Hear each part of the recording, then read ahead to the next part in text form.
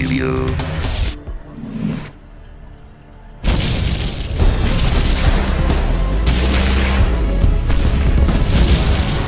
Shit. Set off a chain reaction.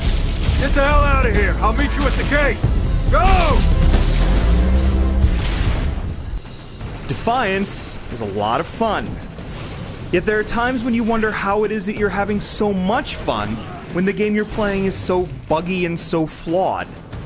This massively multiplayer shooter doesn't do any one thing particularly well, but its elements come together to make for a rollicking good time.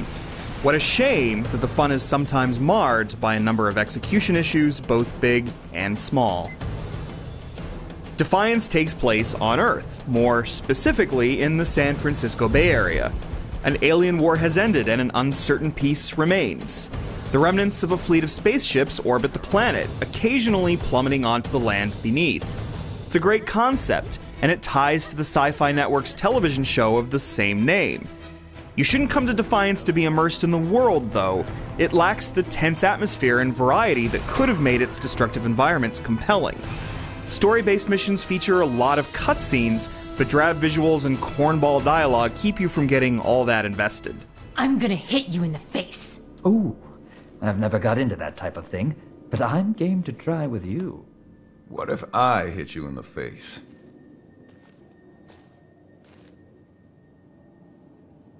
Ah, a bit less intriguing. In many ways, Defiance is a traditional, massively multiplayer game. You move from mission to mission, clearing meadows of raiders and bugs, interacting with computer terminals, and so forth. However, Defiance is a shooter, so forget hotbars and magic spells. You do get special skills to mess with, though, like being able to create a decoy or turning yourself invisible. You also earn points to spend on passive perks that you can then add to your loadout. Of course, the main components of your loadouts are your weapons. There are loads of choices in this regard. You get an early taste with simple pistols and machine guns, but later, such guns come with effects like poison and fire, and you can upgrade them with various modifications. There are numerous types of rocket launchers, infectors that cause enemies to be swarmed with bugs, and weapons that both hurt enemies and heal friends. When it comes to guns, there's a lot going on, and it's impossible to resist the lure of cool new toys to play with. Even if you stick with a particular weapon for a while, though, the pace of progression is smooth. Defiance also scales really well based on how many players are in the vicinity, so you get to tour the post apocalyptic expanses rather quickly. A typical stretch of Defiance often involves taking on a mission, summoning your ATV or some other vehicle, and zooming towards your destination. The shooting then begins, and both the fun and the problems start to surface. Defiance's third person shooting is serviceable. Enemies don't usually just stand around, so you need to be on the move, and the action has a light, speedy feel. But there isn't much oomph or weight to your shots, so the guns can feel more like toys than destructive forces. And while you may not expect top notch AI from an MMO, enemy behavior is so random that it takes away some of the action's bite. Defiance tries to compensate for this by throwing a bunch of guys with rocket launchers, riot shields, and flamethrowers after you, usually during story missions. But such encounters are sometimes more frustrating than rewarding. Of course, you can have buddies along if you're having trouble, but you only really need a group in the well paced co op missions that end in a big boss and lots of loot together.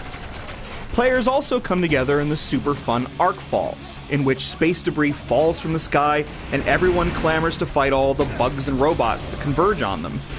These explosive battles show Defiance at its best, pitting dozens of players against dozens of fearsome enemies. Driving from one battle to the next, you join a makeshift caravan of other greedy players brought together by a selfish lust for money and valuables. But to deal with the fun, you also have to deal with the bugs and other execution flaws. For example, there's a player versus player mode called Shadow War. At its best, Shadow War is an intense tug of war between two teams struggling against the local wildlife in addition to each other. But the way friends and enemies spawn in together and create immediate chaos is silly, as are other oddities, like possibly spawning in and immediately taking damage for no reason, as if you were dropped from the sky. Elsewhere, you might lose mission progress, have weapons disappear from your inventory, or run into annoying audio bugs. Chat doesn't work right, though that's not much of a loss since there's little sense of in game community. Trying to grab loot at the end of an arkfall means having to wait for the button prompt to appear because the game can't handle the enormous crowd of players all trying to get loot from the same spot. Those might not seem like insurmountable problems, but there are tons of them. Yet, Defiance has a real spark that keeps you coming back for more. The game's systems are merely decent, but combined, they produce enough excitement and variety to keep you pressing forward. This is the B movie of persistent world games.